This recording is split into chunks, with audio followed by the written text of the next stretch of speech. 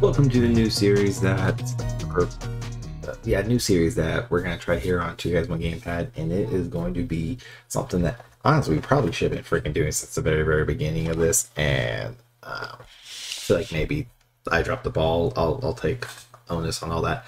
But here's what's gonna happen: we are going to try to release weekly updates on specific games that we enjoy playing, and hopefully you all enjoy it. And if you do, don't forget to like and subscribe to stay up to date for more. Uh, so let's get into it today. As you can see, we are talking about the World of Warcraft uh, update that came out May 28th, and it's going to be very quick as there's not too many updates. Um, so these are their what Blizzard calls their hot fixes, and this again you can find all this information out over on news.blizzard.com, so you can see this yourself. Uh, so let's get into it. They updated uh, player versus player, specifically with the priest. You can now, uh, or sorry, not now.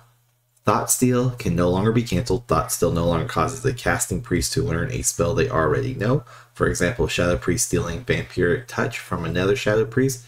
The target of the Thought Steal still loses access to that stolen ability, though.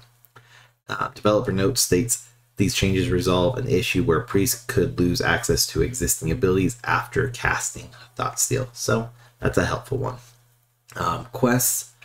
The Verdisa did not realize she was sitting on an important location for the quest, forgot her not, and has moved a few feet away.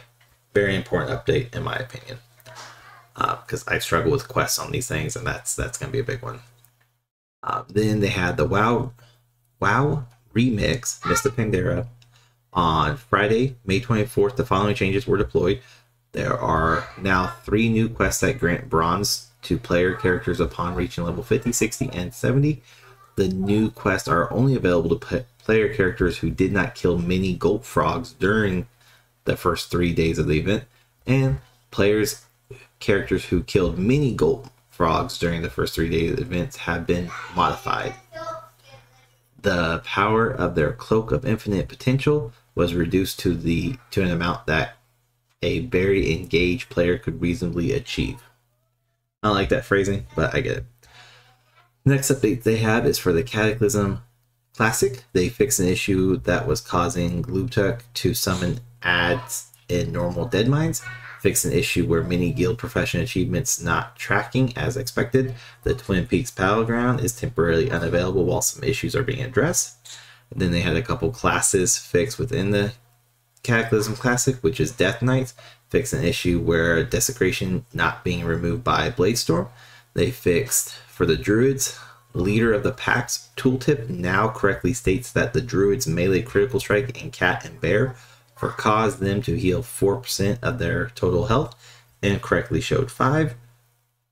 And then for the hunter, they had two. They have primate hunter pets now understand that they can't move while using their bad manner ability and will successfully cast a spell without interrupting themselves. Along with Furious Howl will no longer stack with the other percent crit chance increases such as Leader of the Pack and Rampage. And then the final hotfix for this week is for Season of Discovery. Updated many items that dropped in the Sunken Temple to be better for casters and more rewarding in general. A number of previous non epic items are now epic qualities, and in many cases, stats have been added or increased. So, not too many massive uh, fixes, a lot of just spell ones, uh, which makes sense with them trying to keep everything up to date and working as uh, as properly as possible, um, leading into War Within that's supposed to be coming out later this year. So, without further ado, thanks so much for tuning in to this uh, Two Guys One Gamepad gaming update. Let us know what you think down below in the comments. And again, don't forget to like and subscribe and share for more. So, till next time, my name is Sig. Take care and thank you for watching.